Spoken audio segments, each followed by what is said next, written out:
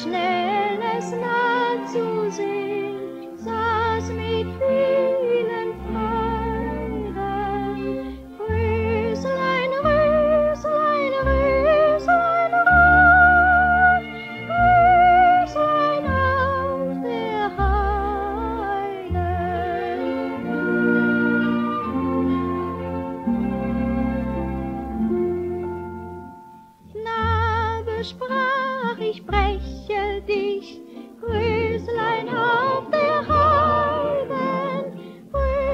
sprach, ich steche dich, dass du ewig denkst an mich und ich will.